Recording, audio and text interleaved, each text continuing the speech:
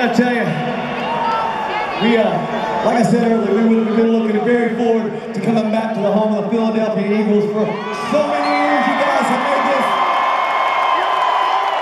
such an amazing place to come play music. And even before we played here, you know, it was always a great place for us to come play music. And for that, I love you guys very, very much. And,